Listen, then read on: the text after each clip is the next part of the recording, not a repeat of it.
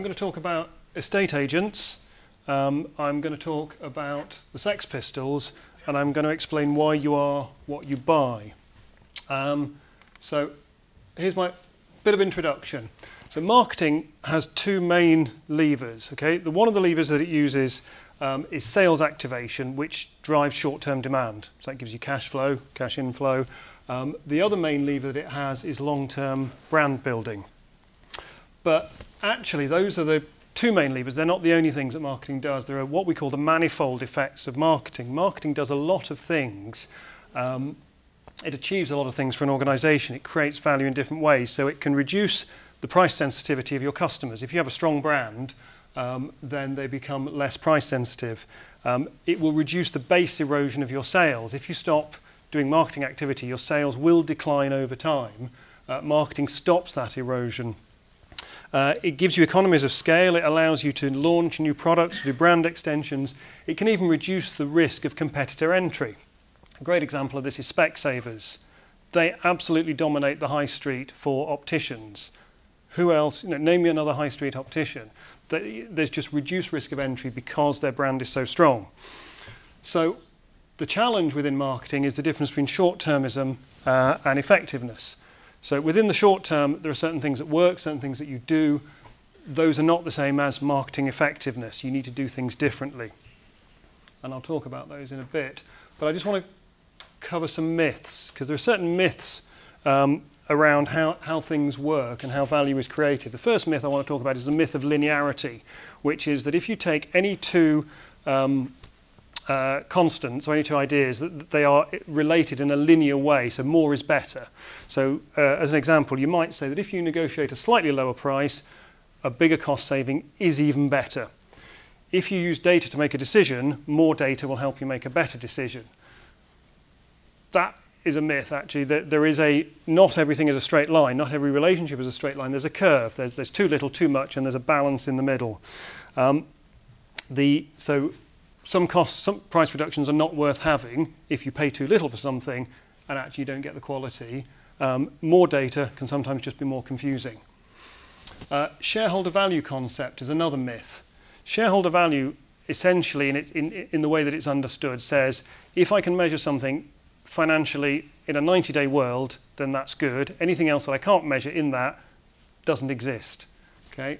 Uh, the other bit, and that leads me into sort of financial savings versus economic losses. A financial saving is, is easy to measure. You know, if I'm paying my ad agency X and I negotiate a price reduction down to Y, that's a nice, easy financial saving to measure. If that causes my organisation to suffer economic losses, that's sort of invisible. If I start with a P&L and I don't do all the, I, I lose those manifold benefits of marketing, then, then that's an economic loss that I can't measure. Uh, and so there's a myth that those don't exist. And then this is what I call the professional buying myth, which is actually three interrelated myths. Uh, and this is based on my experience of having been an FD of agencies and seen the way that my services or my agency's urban services are bought. So the first one is that value is fixed. It, it just stays the same. It's not affected uh, by the buyer's, buyer's behaviour during the buying process. And the final one is max, minimizing seller's profit as a valid proxy for increasing value. So I'm going to untangle those uh, a little bit with, a, with a, a diagram. So here we have cost, price and value. So price is, as a buyer, what you pay, as a seller, what you sell it at. Cost is my cost to produce. Value is the value that's created as a result of the thing that's done. So as an agency FD, what is my experience? That buyers, professional buyers will come in and they start by attacking my cost base and say, you don't need that cost base, you need a lower cost base. Then they'll start by attacking the price and the, and the difference, my seller's profit, and say, actually, you know, you don't need a 20% margin, you know, we're on a 3% margin, you can have a 3% margin. So essentially reducing cost, reducing price, and if value remains fixed, then the buyer's profit increases. And in any transaction, there needs to be a buyer's profit as well as a seller's profit. Yeah? If price is greater than value, then, then that wasn't a, wasn't a good transaction. Now, the problem with that is that actually the way you behave in the buying process can destroy value. If you don't get access to the best talent, to discretionary effort, you will destroy value. So this is not a proxy for that. Does that make sense? So let's talk about a little bit about reality. How, how does the world look from my perspective? So this is what, how we see effectiveness uh, at the IPA, and this is based on IPA research. So I'm, I'm literally just going to read these through, but I'll take you through them in, in a bit more detail. So the first thing is that a series of short-term effects does not necessarily lead to a successful long-term effects. Long-term effects are more than just an accumulation of short-term effects. I'll explain this in more detail. Next one, volume growth is quickly achieved via activation. Reducing price sensitivity via branding takes longer. Optimum profit growth requires both of these. And the final one is that long-term effects are generated differently from short-term effects. So essentially what this is saying is the things that do good in the short term, the things that you can measure financially, don't give you the long-term value. And that's the tension between short-termism and effectiveness. So here's, a, here's an example of the short term. This is an econom economist's graph, but essentially what you've got here, if you see two names in the corner, Les Binet, Peter Field, both work in the advertising sector, uh, done lots of research on IPA case studies. If you do sales activation, so promotions, money off, bog off, you get a, a rapid sales uplift, but it decays very quickly. So you've got the volume, but it decays. If you take a longer term approach, the blue line here, this is brand building. Okay? Once you've built your brand, brand build, more brand building activity doesn't give you the instant sales uplift that sales activation will give you, but what happens is the effects of the brand building will erode more slowly over time. So, you know, to use a sort of food analogy, the, the sales activation is a bit like a sugar rush. You get this sudden hit, and then it goes. Brand building is more like eating protein. It keeps you fuller for longer, but you don't get that sudden rush. You know, if you're, if you're competing in sport and you need energy, you, you, you'd, need, you need something different. So what happens if you have a series of only short-term activities? It's going to look like this sawtooth pattern.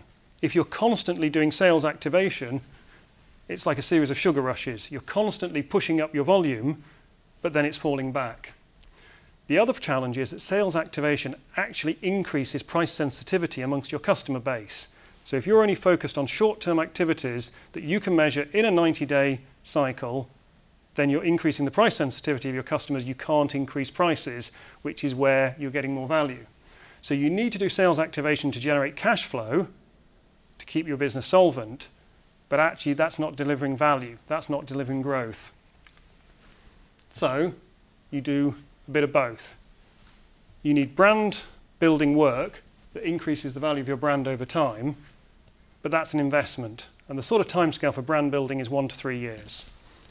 So you need cash flow in the short term coming in, keeping you solvent, helping you meet your quarterly targets.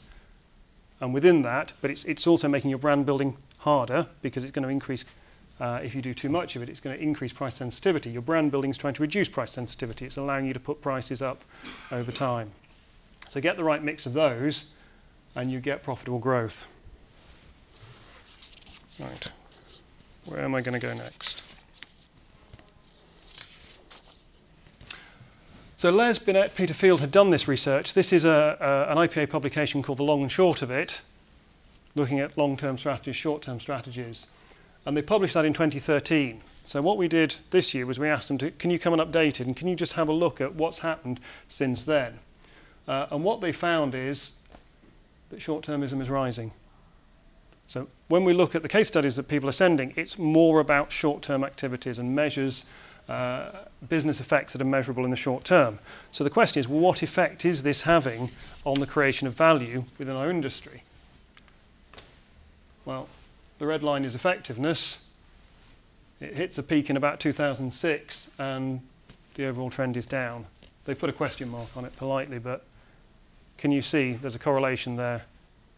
More short-termism within the industry, less effectiveness. There is a balance of the two that is needed. So what's going wrong here? I think the problem is the challenge of buying investments as investments. So thinking about how we buy, what we buy, uh, and how it needs to be done. So um, I think the key challenge for the buying function is to maximize the value created for the organization. So I'm going to take you through an example that uh, hopefully is close to home, which is um, imagine that I'm selling my house and I need two estate agents. So this guy comes round. I don't think I'm going to use him. So here's a young lady who's much more presentable. Her suit fits. She looks like the sort of person who could sell my house. So I'm reasonably happy with her. And then this very presentable, very self-confident, quiffed young man comes around and he, he looks like he could do the job as well. So I now have a shortlist. I have two people who can possibly sell my house. One of them is offering to do it at 1.5% commission. One is saying it's 2.5% commission. So the question is, which one do I choose? The answer is the person who can sell my house for the most money. That's what I'm looking for.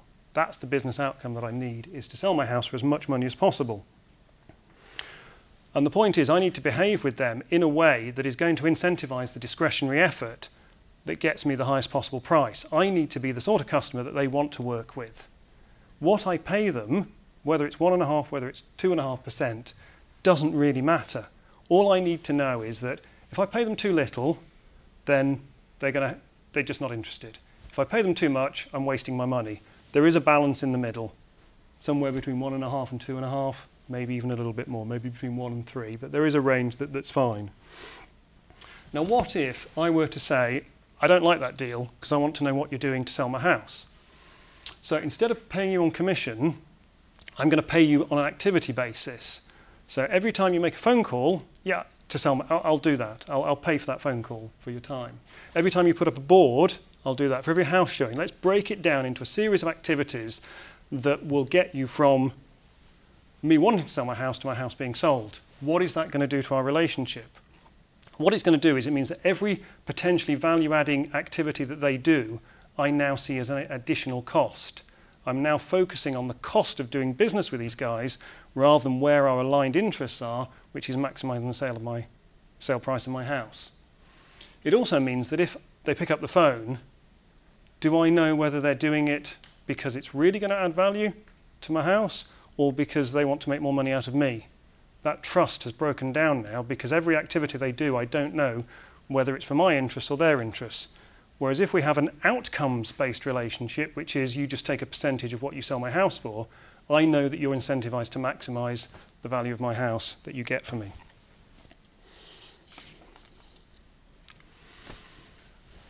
So let's think about personal styles. Um, back to buying advertising and other investments. Challengers, do you, do you know the sales types? There are relationship builders, problem solvers, hard workers, lone wolves, and challengers. Challengers are the sorts of people who are the most successful in a complex selling environment. So those are the people you want working on your, on your complicated brand problems. What do they look like when you, when you work with a challenger? They're going to push back on the brief that you give to them they're going to question the assumptions that you've made in there. Um, and they're going to talk about well, what is the business outcome we're trying to achieve here. So I say these are the most successful people. And it's precisely because they don't do what you tell them to do. If I tell you to do something and you say, well, what is it you're trying to achieve? If you interrogate what I'm trying to get to, that's the challenger. You're working hard to get to a, a better business outcome. So they have a different view, they understand the customer's business, they like to debate. That is the very definition of being creative. So challengers are the creative people who are going to drive value. What you don't want working on your big brand problem is a hard-working, problem-solving relationship builder. They're going to be having this meeting. Yeah? They're not going to drive the value. They're going to be building relationships.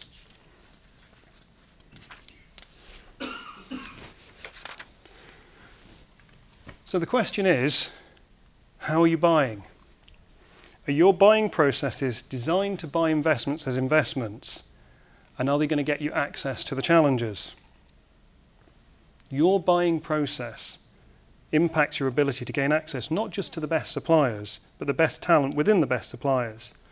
If your buying process signals that you're going to be an undesirable client, the best ad agencies are just not going to turn up.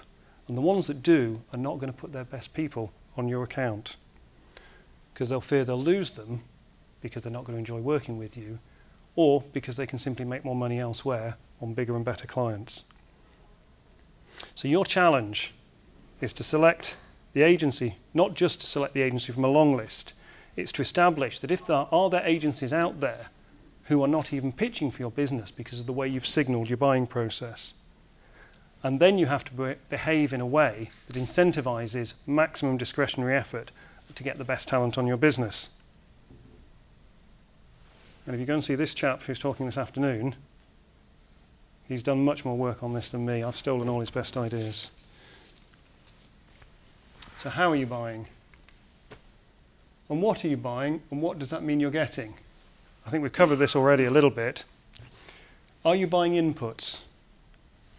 These sorts of things. Hours, timesheet, staff costs. If you are, you're buying commodities. So these don't distinguish between busy fools and eureka moments.